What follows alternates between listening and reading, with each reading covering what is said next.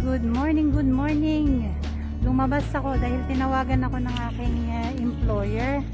Pinapapunta ako sa kanila at uh, magbabayad daw siya. Ang huling uh, araw ng trabaho ko sa kanya is March 12.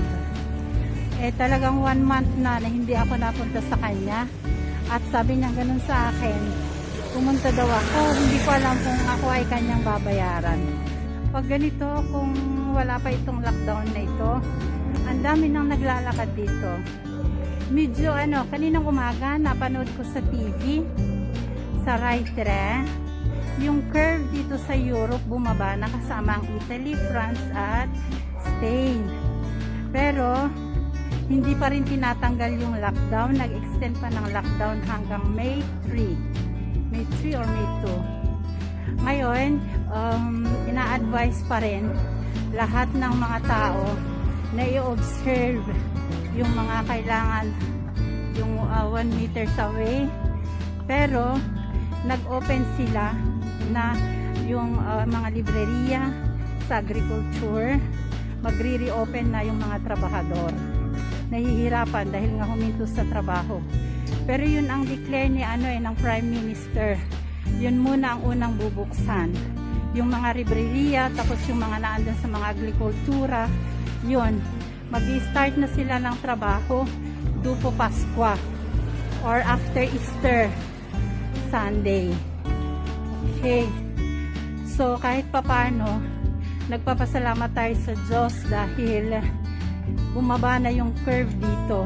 Pero ngayon ang tinatarget naman ni Corona ay sa Africa kaya sana patuloy pa rin tayong magdadasal na sana talagang mawala na sa buong mundo. Dahil ang dami nang nahihirapan. Kasama na kami. Hindi lang yung mawalan ka ng trabaho pero yung emotionally na ikukulong ka sa loob ng bahay mas lalo ang mga bata ngayon. It's uh, talagang parusa. Pero yun din siguro yung panahon para kailangan nating magbalik loob sa Diyos kailangan nating i-assess ang ating sarili at kailangan natin lalo nating patatagan o patatagin ang pananampalataya natin sa Kanya. Okay, so malapit na ako dito sa aking employer. Titingnan natin kung anong sasabihin niya. Okay. Ayan! Maraming maraming salamat. Binayaran ako ng buo. Sa panahon talaga ngayon, hindi ma... Laging meron pa rin mas, mag, may, ma, gininto ang puso. Binayaran niya ako, tapos sabi niya ganun sa akin uh, nung preocupare, ibig sabihin wag daw ako mag-alala at uh, mag-uusap daw kami purely pag yung magsimula ako. Pinapabilik niya ako sa Thursday. Hindi naman ako makapagsabi ng hindi kasi sabi niya ganun, kailangan na nating mag-trabaho dyan kasi babalik din kasi siya sa trabaho. So, kailangan din naman ako makipag-cooperate sa kanya. Kung hindi naman ako makikipag-cooperate sa kanya, sa susunod na buwan, wala din ang papasahod sa akin. So, ayun. Tayo nagpapasalamat sa Diyos dahil eh, ang ating eh, employer ay tayo binayaran ng buo. No questions asked. Okay. Meron ng ano, nagbukas na sila ng mga Gazeta del Mezzogiorno. Parang, kumbaga tinatawag nila dito na parang mini bookstore. Dito nabibili ang mga magazine. Yan, may itong pharmacy Ayan, yan yung mga pharmacy ay patuloy pa rin bukas dito. Yung mga matatanda, unti-unti nang nalabas. Ayan, yung sa fruity vendolo, yung sa fruit shop, bukas din. Meron pa isa-isang nakapila. Ngayon pupunta tayo sa ano, sa supermarket.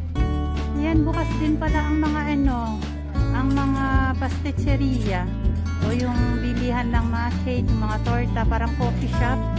Bukas oh. Pero kukunti pa lang mga tao pumapasok.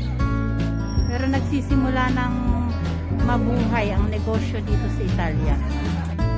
Yan, dito sa supermarket naman, kukuha ka ng number doon, tapos layo-layo, away-away muna kayo. Ayan oh. Bawat isa nalayo. Kukuha lang ng number, tapos tatawag yung ano, may tatawag doon sa iyo.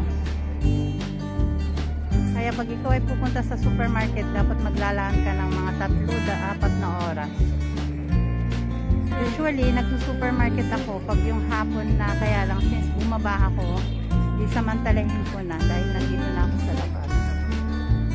Okay, so tapos na tayong uh, mag uh, supermarket.